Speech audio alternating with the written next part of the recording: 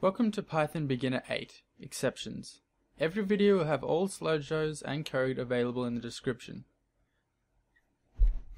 Exceptions is the concept of catching errors while the program is running and doing something about it so the user doesn't have to experience the program crashing or not working. Most often this happens with user inputting incorrect data for our variables or trying to open a file to, to read that doesn't exist.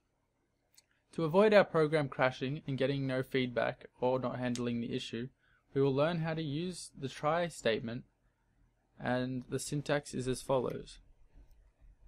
Try, do stuff here, except do this stuff if any of the code in the try has failed. So we can surround anything with this try and except. And we only use it around things that can fail. So there's no point around putting it around something that we've hard-coded to set. So let's create a little program called toot8.py that will try to open a text file that doesn't exist called blah.txt. When it can't open the file, instead of crashing, we'll catch the exception and print out that the file could not be found. Okay. So let's come over to Linux here and let's create a new file called vim toot8 py and now let's write our main function. So def main brackets colon um, indent once. Uh, we write our try colon and then we indent twice. And now let's try and open a file called blah. So we go f equals open open brackets blah dot txt close quotes comma r for read. So we're going to try and open a file called blah.txt in read mode that doesn't exist. Now for line in f so for each line in the file that doesn't exist we want to print line. And we will strip it as well. So strip. So just good practice. Do our backslash n.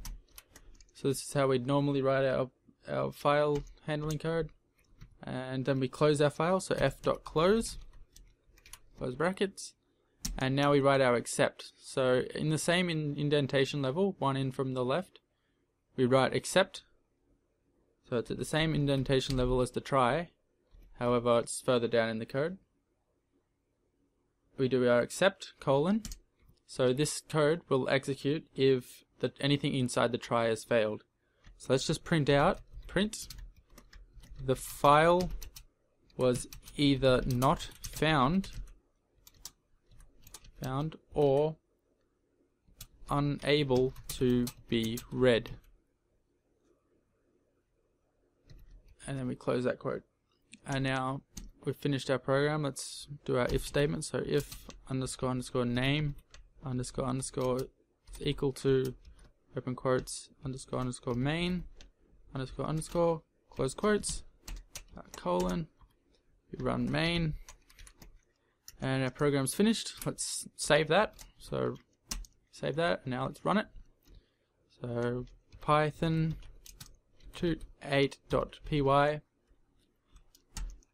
and we get the file was either not found or unable to be read.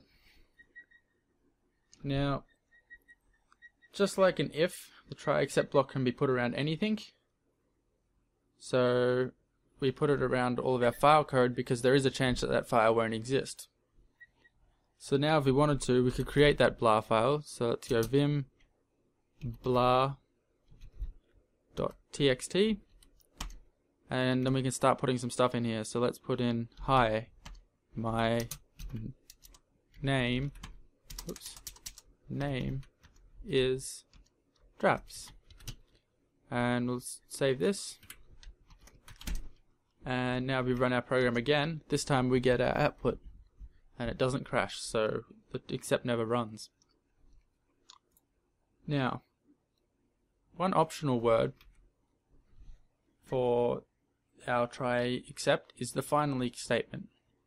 So this is optional. You don't have to use it when you use a try and except, and it comes after the exception block. The finally will always run the final block of code. So the syntax is try, do this stuff, except, do this stuff if the try failed, and finally, always do this stuff.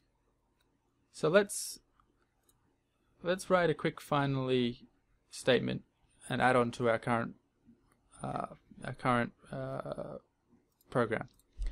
So let's open up our program and let's edit our program. This time let's try opening blah1 because we've already created a blah file. So let's make a blah1 which doesn't exist. And then we'll, after our except, on the same indentation as the except, we'll do a finally. So finally, colon. So this code will always run. We indent twice. We print exiting. So this will always run, uh, no matter what, whether the try uh, fails or doesn't fail. And let's save this and run our program. So file was either not found or unable to be read, so it's exiting. Now we open up our program again, and this time we'll edit it and put it back to blah. And we'll save and quit. Save and quit. And you'll notice that it still prints out the exiting after it prints out all of our lines in the file. So it's important to handle errors so it's important to handle errors so the end user doesn't have to see see them crash your software. So this is why we use tries and excepts. And we can also use tries and excepts for more than just outputting error messages. But more on that later. This concludes our look at exceptions in Python. Don't fear if you don't remember all of this, you can easily come back and rewatch this video to con consolidate all the information. If you have any questions and you can't find the answer after a quick Google search, feel free to leave them in the comments. Next we'll be covering modules. Thanks for watching.